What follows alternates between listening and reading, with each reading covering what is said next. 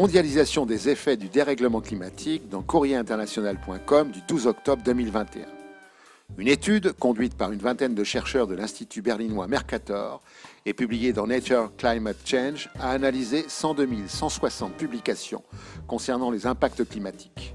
La conclusion est sans appel, 80% de la superficie terrestre, où vit 85% de la population mondiale, enregistre déjà les effets du dérèglement climatique. Les auteurs de l'étude ont par ailleurs constaté qu'il existe une inégalité inquiétante dans le monde de la science du climat.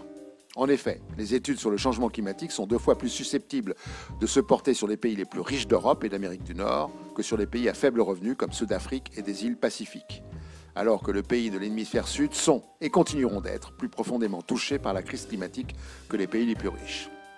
Enfin, la climatologue allemande Friederike Otto estime que les estimations de cette étude à laquelle elle n'a pas contribué sont probablement trop faibles. Que faut-il donc aux consciences pour qu'elles s'éveillent? Ça bétonne pas mal à Paris dans la relève et la peste.fr du 13 octobre 2021. En Ile-de-France, en un demi-siècle, 100 000 hectares de terres fertiles ont été bétonnés. Entre 2000 et 2016, le nombre d'exploitations agricoles de la région est passé de 6506 à 4838, soit une centaine de moins chaque année. L'Île-de-France a une population de 12 millions d'habitants qui consomment de la nourriture à 90% importée, bien que 49% de son territoire soit voué à l'agriculture. Et ça continue. Sur le triangle de Gonesse, au nord, une gare de la ligne 17 nord du Grand Paris Express devrait détruire 110 hectares de terre où sont cultivés du blé et du maïs. À Thoiry, à l'ouest, 5 hectares de terres très fertiles sont menacés par un dépôt de déchets issus des travaux du Grand Paris Express. Dans la ville de Châtres, à l'est, l'intercommunalité de Val-Briard a acquis 150 hectares de champs en 2018 et prévoit d'en consacrer la moitié à l'extension de la plus importante zone d'aménagement privé d'Île-de-France. Sur le plateau de Saclay, au sud de Paris, plus de 2500 hectares de terres parmi les plus fertiles d'Europe sont en sursis. En quelques années, 4 à 500 hectares ont déjà été détruites par les travaux du projet du campus géant de Paris-Saclay. Toute raison semble avoir abandonné les décideurs au risque d'aggraver fortement la dépendance alimentaire de l'Île-de-France. Sans doute faut-il rappeler que le béton ne se mange pas. Productivisme agricole en crise, il est urgent d'en sortir dans monsieurmondialisation.org du 9 octobre 2021. Plus personne ne nie aujourd'hui, à part quelques enragés productivistes, que l'alimentation industrielle ultra transformée soit à l'origine de multiples maladies chroniques. Mais rien n'y fait et le modèle perdure. Malgré le développement des circuits courts, les élevages en plein air, des ateliers de transformation à la ferme, le productivisme agricole continue de dominer les modes de production. La déréglementation, l'instauration d'une concurrence mondialisée, la réforme de la PAC, la mise en place d'incitations fiscales au surinvestissement et l'encouragement à l'escalade technologique, tout est fait pour encourager les agriculteurs à produire toujours plus à des coûts toujours plus faibles.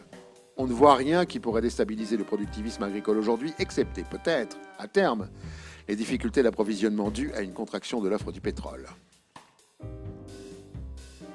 Les virus sont consécutifs à notre manque de respect pour la nature dans mongabé.com du 15 octobre 2021. Au début 2020, alors qu'un nouveau coronavirus affectait les esprits avant d'affecter les corps, un mot peu connu a fait son apparition. La Covid-19 était zoonotique, une maladie qui est apparue chez les animaux, a franchi la barrière des espèces pour toucher les humains. Nous sommes entrés dans une ère pandémique. Les pandémies ont plutôt lieu une fois tous les dix ans de nos jours, a dit le zoologiste Peter Daszak, président d'EcoHealth Alliance à New York. Il existe un vaste groupe de virus inconnus dans la nature, poursuit Peter Daszak, peut-être plus de 1,6 million. Parmi eux, 600 à 800 000 pourraient potentiellement infecter les humains. La plupart des virus d'enjeu proviennent des mammifères, quelques-uns des oiseaux.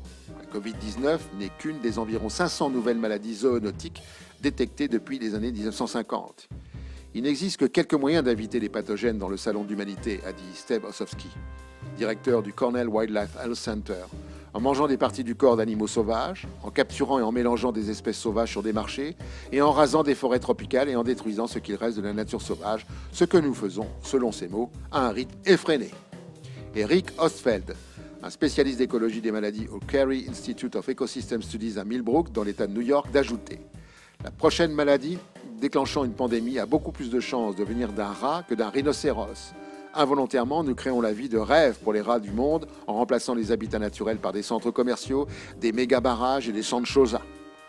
De nombreuses études montrent que les paysages altérés par les humains sont de zones hautement à risque de maladies zoonotiques. La déforestation augmente l'apparition d'épidémies.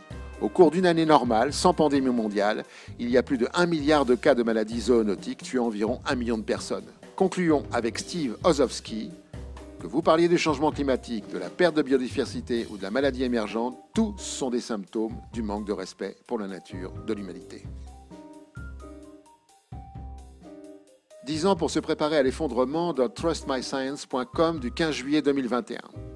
Le rapport dit Meadows, publié le 1er octobre 1972, intitulé The Limits to Growth, prédisait la fin de la civilisation industrielle au cours du XXIe siècle. L'ensemble des prédictions faites par ce rapport se sont à aujourd'hui avérées exactes. Une nouvelle étude publiée dans le Yale Journal of Industrial Ecology et menée par Gaia Harrington a examiné l'évolution de la situation depuis le rapport initial de 1972 et a conclu que nous pourrions effectivement assister à l'effondrement de la civilisation telle que nous la connaissons dès 2040 ont été étudiées les données relatives à dix variables clés, à savoir la population, les taux de fertilité, les taux de mortalité, la production industrielle, la technologie, la production alimentaire, les services, les ressources non renouvelables, la pollution persistante, le bien-être humain et l'empreinte écologique. Il semble que les scénarios prédits par le rapport Mido soient corrects, et notamment le scénario Business as Usual 2, dit scénario BAU 2, et le scénario Comprehensive Technology, dit scénario CT. Qu'est-ce que l'effondrement selon Gaia Harrington? Destruction de notre mode de vie. La croissance économique et industrielle s'arrêtera, puis déclinera, ce qui nuira à la production alimentaire et au niveau de vie. En termes de calendrier, le scénario BAU2 montre qu'un déclin brutal s'installera vers 2040. Tout indique que ce que nous ferons dans les dix prochaines années au plus tard sera déterminant pour le sort de l'humanité. Et pour finir, la connerie de la semaine.